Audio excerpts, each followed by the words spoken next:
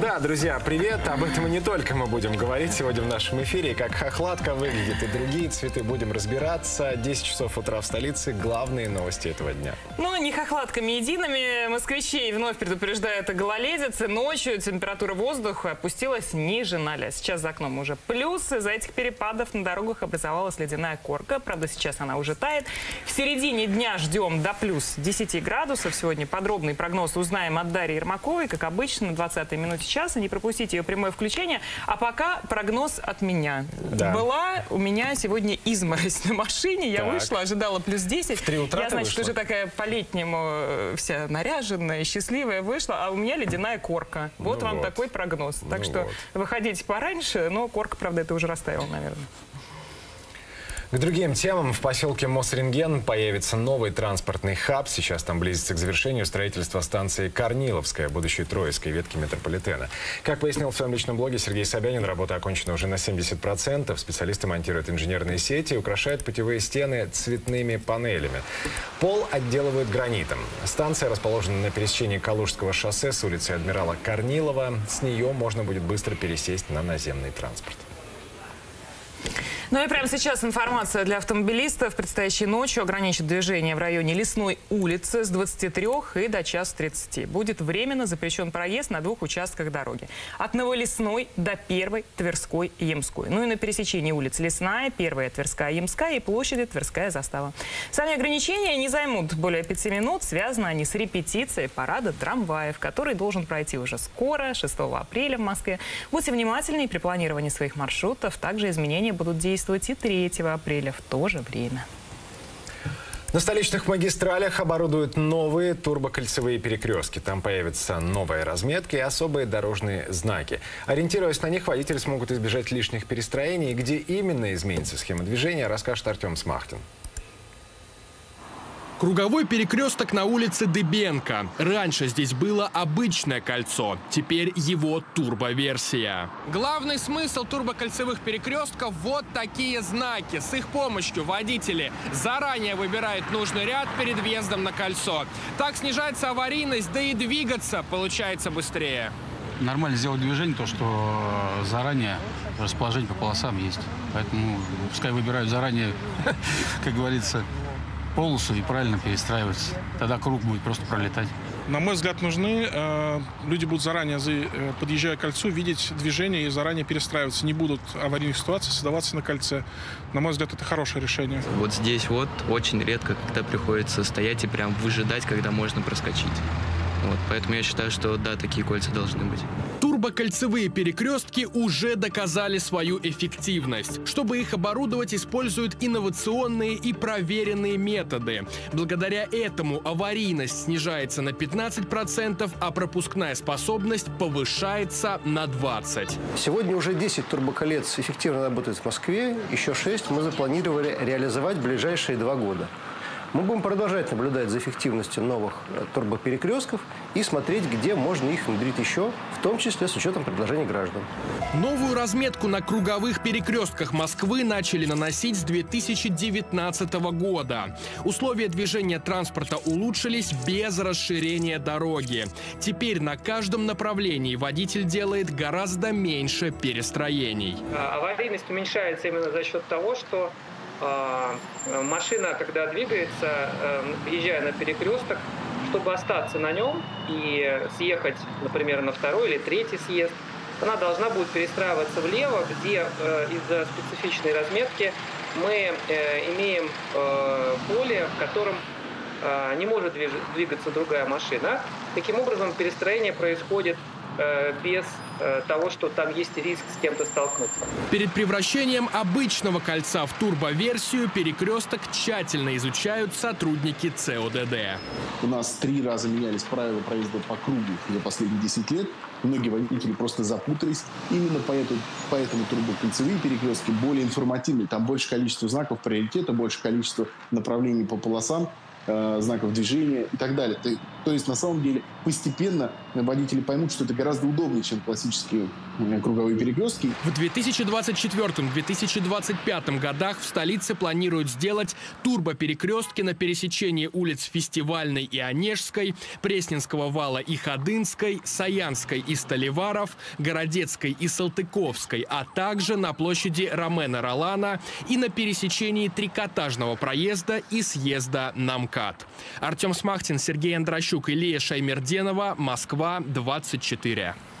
В МЧС обновили список погибших во время теракта в Крокусе. Теперь в нем 143 фамилии, опознаны 84 человека. В том числе пятеро детей. Процедура продолжается, проводятся экспертизы ДНК. Ну а на месте трагедии следователи и криминалисты собирают вещественные доказательства. Также выясняется, как обеспечивалась безопасность в концертном зале.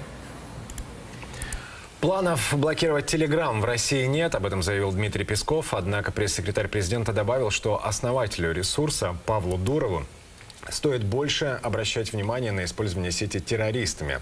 Ранее стало известно, что арестованные по делу о теракте в Крокус-Сити-Холле получили задание в одном из закрытых чатов в Телеграме.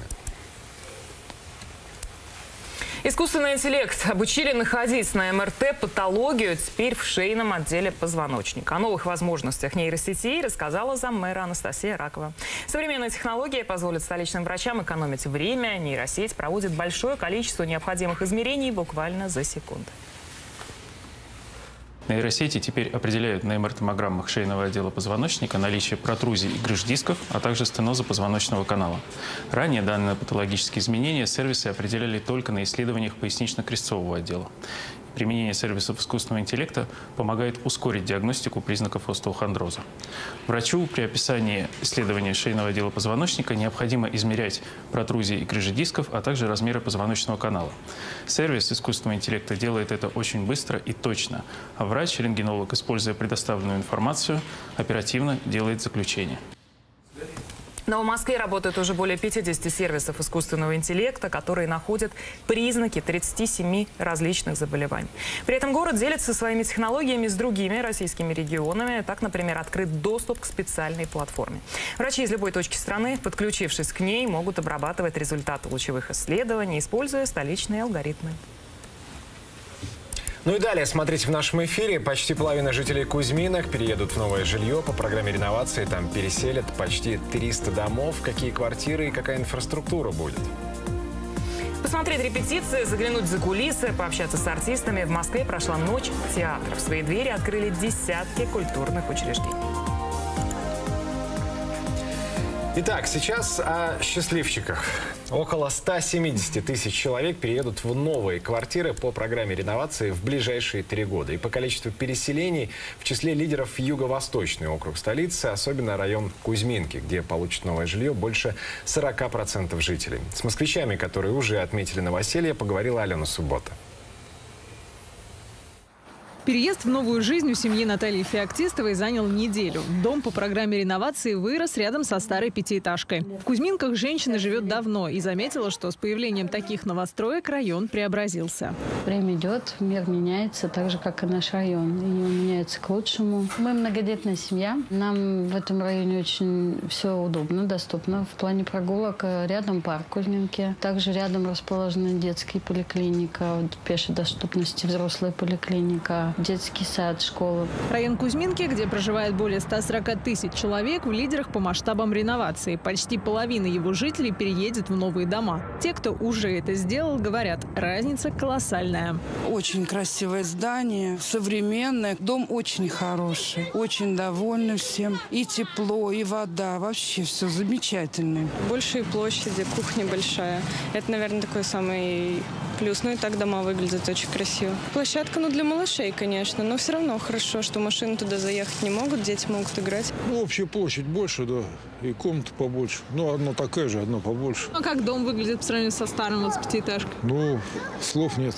По словам мэра, Кузьминки считаются неофициальной столицей реновации. Сергей Собянин пообщался с новоселами одного из домов и отметил, что инфраструктуру района продолжит развивать и дальше. В Кузьминках вообще самое большое количество жителей переезжает, почти половина.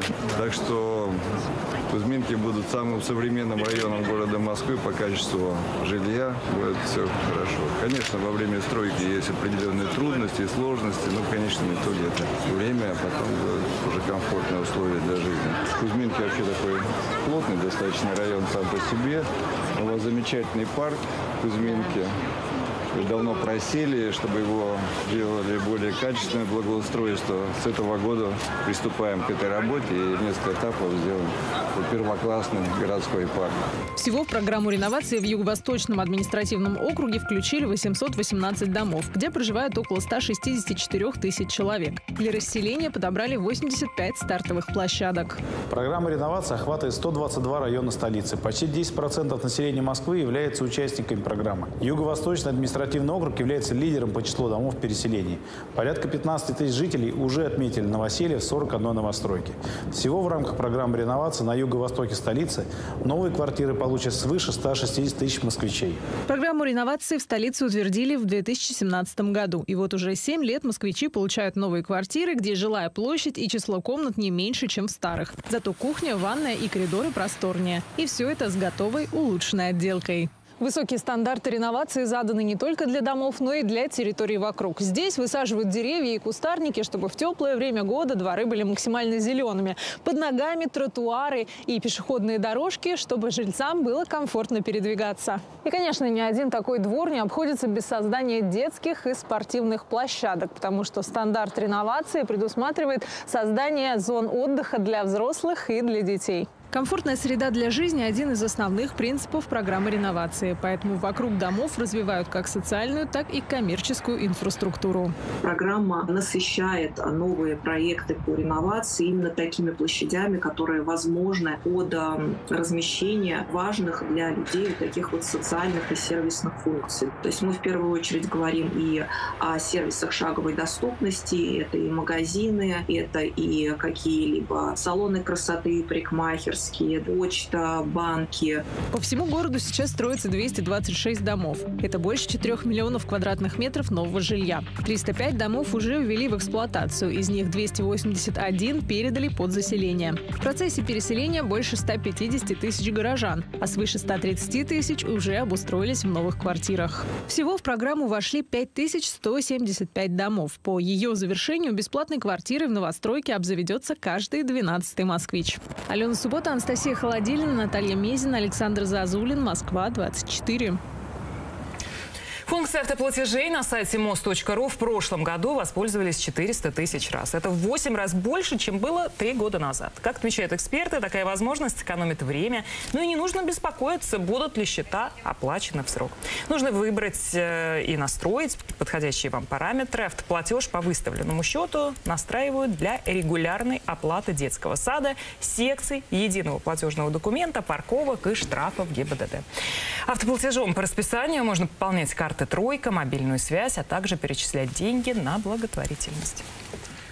Ну и в продолжение о цифровых возможностях Юрия Никулина оживили с помощью нейросети. Образ легендарного актера используют для роли в комедии «Манюня. Приключения в Москве». Родственники Юрия Владимировича дали на это свое согласие. Работа над созданием виртуального Никулина заняла около восьми месяцев. По словам кинокритиков, результат превзошел все ожидания. Но очень много обсуждений этой Но новости в сети. Думать. Я вчера читала, конечно, очень а многие против э, скоро такого. технологии дойдут до того, что мы сможем, э, в принципе, оживлять кого хочешь. Да и мы с тобой, Иван, будем не нужны. Ну, Уже ну, пробуют, нет, ну, вот посмотри. Ну, кто, кто столько глупостей в эфире наговорит, кроме как да. мы живые. Да, согласна. У поклонников театрального искусства сегодня была бессонная ночь. 70 культурных учреждений столицы были открыты в рамках акции «Ночь театра». В программе спектакли, творческие встречи, экскурсии. Что еще подготовили для посетителей, Дарья Крамарова увидела и нам расскажет. Иду в театр и без билета. Нет, дело не в том, что я, например, забыла его купить. Просто в Москве та самая ночь, когда десятки театров открывают свои двери, и зрители могут совершенно бесплатно посетить ночные экскурсии, спектакли и многое другое. Ну и, конечно, мы тоже решили прийти. Мы сейчас в Театре эстрады на Берсеневской набережной. Ну что, заходим? Три звонка и зал замирает. Мюзикл «Республика Шкит» начинается. На сцене юные актеры детского музыкального театра играют в сопровождении оркестра. Миссия невыполнимо. Найти свободное место невозможно. Екатерина Гусева пришла на ночь театра вместе со своей дочкой, чтобы из зрительного зала поддержать ребят на сцене. Посмотреть актер, ак- юных актеров, моих детей, можно так выразиться, потому что очень со многими я играю в спектаклях и раньше играла в мюзиклах. Это наше будущее актерское поколение. В программе в этом году больше 80 мероприятий, а для того, чтобы попасть на спектакли, мюзиклы и творческие встречи, нужно было просто зарегистрироваться на сайтах театров заранее. До этого слышали, но ни разу не попадали, потому что работа не позволяла. Сейчас в отпуске, поэтому решил сходить. Знакомые подсказали. Ребенок увлекается театральным искусством, решили попробовать посмотреть и показать ему, э, ну, как играют другие дети. Республику Шкит. Я когда-то в детстве читал. Сейчас уже плохо помню. Вот освежим как раз. В столице акцию «Ночь театров» проводит уже в 12 раз. И если в первый год к ней присоединились только 17 театров, то сейчас эта цифра выросла в 4 с лишним раза. Выбрать, куда пойти, сложно. Это и театр Моссовета, и уголок дедушки Дурова, и театр на Таганке, и другие. И очень важно, чтобы горожане, может быть, кто-то из туристов, который приехал в этот день, посетил очень большую, наверное, самую большую в мире сеть театров в Москве. Показать зрителю, показать в первую очередь молодежи, что собой представляет театр, увидеть непосредственно тех людей, которые создают э, нам настроение, создают то счастье, которое мы получаем в театре. Наша ночь продолжается. Из театра на Берсеневской набережной мы переместились на Маяковскую. Это театр сатиры. Он также участвует в ночи театров. И, кстати, в октябре этому театру будет сто лет. Спектакль закончился, и двери театра закрываются на экскурсию. Особенную. Ночью здесь рассказывают о том, как и чем жил театр сатиры во время Второй мировой. Но самая интересная часть нас ждала буквально спустя 10 минут. Зрители пустили за кулисы. Мы увидели любимое здание на Триумфальной площади таким, каким его обычно видят только сотрудники. Чтобы подняться на сцену театра сатиры, не обязательно быть актером, но это только в ночь театров. Нам также показали, как выглядят декорации, ну, соответственно, пустили в святая святых, и вообще экскурсия продолжается, так что поторопимся. Вот на этом экранчике высвечивается зрительный зал. Первый звонок дается, это звонок для того, что театр готов к работе со зрителем и дает первый звонок а, помощник режиссера. Второй звонок – это то, что служба и актеры готовы, а третий звонок – это то, что спектакль готов. Москва не спала до глубокой ночи. В программе были встречи с актерами, открытые репетиции, лекции, как для взрослых, так и для детей. По крайней мере, у меня всегда было впечатление, что театр – это что-то такое, что-то очень сложное, что-то очень дорогое, и что это где-то там для эстетов, хотя на самом деле театр, он для каждого. И важно, когда тебе говорят, эй, у тебя есть возможность познакомиться, познакомиться с этим миром. Театр – это целая вселенная, говорят актеры, и никогда не поздно к ней прикоснуться. Дарья Крамерова, Маргарита Матвиенко и Дмитрий Виноградов. Москва, 24. Представления, достойные профессионалов. В Москве в апреле пройдут открытые показы лучших спектаклей школьных театров. Финалисты фестиваля «Живая сцена» представят 30 самых ярких постановок. Среди них современная вариация «Капитанской дочки», балет по мотивам сказки Толстого «Золотой ключик» или «Приключения Буратино», мюзикл «Кот в сапогах». Представления пройдут в центрах дополнительного образования Москвы, а попасть на них может любой желающий. Для этого нужно зарегистрироваться на платформе «Горизонты от мост.ру». Ну а если вы уже собрались выходить из дома, то будьте внимательнее. На дорогах сейчас может быть скользко. Ледяная корка это быстро тает. Я надеюсь, что уже растаяла. Но подробный прогноз узнаем у Дарьи Ермаковой. Она присоединяется к нам в прямом эфире. Даша, привет. Что с погодой будет в ближайшие дни? Доброе утро, всем привет! Несмотря на то, что в ночные часы столбики термометров пока опускаются ниже нулевой отметки, к этой минуте воздух уже прогрелся до плюс 1 градуса. И, конечно, это далеко не предел. И в ближайшие часы столбики термометров доберутся до плюс 8 градусов, что в целом даже чуть выше, чем положено по климатической норме и как раз соответствует ну, где-то началу апреля, первым числом апреля, то есть мы тогда же немного опережаем э, климатический календарь, если это можно так назвать. А что касается осадков, то в целом сегодня ничего интенсивного, продолжительного не ожидается. Пока еще столичный регион находится под влиянием антициклона, то есть области высокого атмосферного давления. Облака, конечно, есть, но их не слишком много, и солнышко выглядывает из-за них и активно выполняет свою работу. Что касается прогноза на вечер там, естественно, чуть-чуть свежее, около плюс 2, плюс 4 градусов. Ну и в ночь на пятницу столбики термометров снова опустятся ниже нулевой отметки. Облаков пока еще мало в столичном регионе, поэтому в ночные часы воздух очень активно остывает. Именно из-за этого снег пока еще не тает окончательно. Но все это произойдет уже совсем скоро. Почему? Да потому что уже начиная с пятницы инициативу в атмосфере перехватит циклон. То есть область низкого атмосферного давления. Облаков, с одной стороны, станет больше, осадки тоже не исключены, но есть и хорошая новость. Нас ждет потепление, причем потепление близкое к рекордному. Уже в это воскресенье температура может добраться до плюс 15 градусов. В субботу пока еще около плюс 12, ну а в пятницу около плюс 10, плюс 11 и небольшие осадки, которые нас не будут расстраивать, а наоборот помогут солнцу уже окончательно избавиться от того оставшегося снежного покрова в Москве. Даша, спасибо. Дарья Ермакова рассказала нам о погоде. Десятки человек пострадали в аварии с автобусом на скоростной трассе в Германии. В Казахстане из подтопленных паводком районов людей эвакуируют вертолетами. Что заметного происходит в мире, расскажем в нашем обзоре за 100 секунд.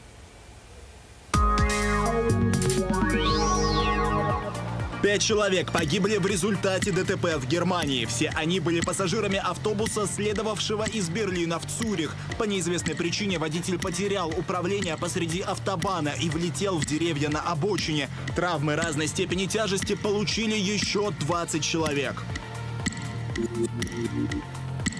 Другая трагедия чуть было не произошла в китайском городе Синджу. Школьный автобус завилял на мосту и врезался в опору. К счастью, скорости не хватило, чтобы вылететь. Семеро детей пострадали. Водитель признался, что плохо себя чувствовал и был изможден. В Казахстан пришли весенние паводки. В ряде сельских районов ситуация с большой водой стала катастрофической. Люди спасаются от волн на крышах домов. Власти сообщают о проведении эвакуации при помощи вертолетов. Только за минувшие сутки помощь потребовалась сотни человек, включая десятки детей. Режим ЧС был введен и в городке американского штата Кентукки Боулинг-Грин из-за начавшегося пожара на заправке и последовавшего за ним мощнейшего взрыва. Пришлось эвакуировать всю округу, включая школы и медучреждения. К этой минуте о пострадавших не сообщается. Полиция Барселоны заявила о задержании человека, связанного с террористическими группировками Ближнего Востока. Он обвиняется в распространении запрещенной джихадистской литературы и материалов для изготовления кустарной взрывчатки.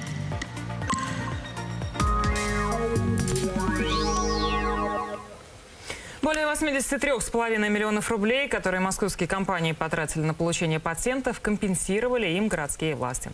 Специальная программа действует в городе с 2022 года. Какие именно предприятия могут рассчитывать на эти выплаты, Иван Пашков расскажет.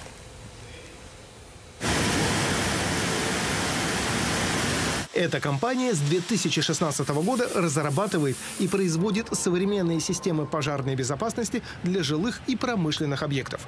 За 8 лет работы местные конструкторы запатентовали 14 уникальных изделий и механизмов. Последний патент получили буквально несколько месяцев назад. В 2023 году мы получили патент на элемент, который будет э, находиться потолком и в случае сработки будет выезжать на специальном механизме, который мы запатентовали. Это уникальное изделие изделия э, выдвижной механизм, потому что на э, высокое давление, которым мы занимаемся в системах э, противопожарной защиты и пожаротушения, аналогов нет. Такие системы уже заказала для себя одна из московских строительных компаний. Подобные технически сложные изобретения требуют инвестиций, причем деньги идут не только на разработку, но и на сам процесс патентования. Однако, благодаря финансовой поддержке города, часть вложенных средств изобретатели могут вернуть. С апреля 2022 года в Москве работает программа по компенсации затрат на патентование изобретений и полезных моделей. За это время 255 столичных компаний уже получили гранты на 1128 разработок на общую сумму 83 миллиона 600 тысяч рублей. Для подачи заявки на поддержку необходимо стать участником Московского инновационного кластера, то есть просто зарегистрироваться на платформе i.moscow. Если речь идет про патентование в Российской Федерации, то это фиксированный размер поддержки 75 тысяч рублей. В случае с э, зарубежным патентом оценивается перечень стран, в которые будет подаваться заявка на патентование, и объем такой поддержки не может быть более чем 2 миллиона рублей. И такие финансовые инструменты реально помогают предпринимателям. Вот эта фирма начала продавать самостоятельно разработанные очистные сооружения только в прошлом году. И поддержка города на этапе выхода на рынок в этом случае оказалась очень кстати. Мы запатентовали изобретение как очистное сооружение в целом, так и составляющую этого очистного сооружения, этот биофильтр. Получили грант на компенсацию оформления патента на наше изобретение. Этот грант покрыл полностью э, наши затраты на патентный поиск, на подачу самой патентной заявки, в том числе на уплату пошлин э, в Роспатенте. Впрочем, благодаря цифровизации у изобретателей недавно появился еще один способ сэкономить. На патент пошлина в среднем в районе 19 тысяч рублей рублей, но и поверьте, стоимость может быть существенно э, сокращена. Важно подавать заявки в электронном виде. Во-первых, это очень удобно, можно сделать из любой точки мира на любом устройстве. Для этого сегодня существует и а, система электронной Роспатента. Также это можно сделать на едином портале государственных услуг. И, а, что важно отметить, а, за подачу в электронном виде дается скидка 30%. Такой дисконт от Роспатента, вдобавок к гранту от Московского инновационного кластера, инвестора хороший стимул использовать сэкономленные средства на разработку и изобретение новых технических решений. Иван Пашков, Москва, 24. И далее, смотрите, для пациентов и их родственников уже больше 160 тысяч москвичей воспользовались программой «Социальная помощь в больницах». Московская служба онкопсихологов, единый центр поддержки для участников СВО. Какие еще программы действуют в городе? Помощь психологов, различные пособия компенсации на оплату жилья в столице активно оказывают поддержку семьям с детьми. Какие выплаты можно рассчитывать и, главное, как их оформить?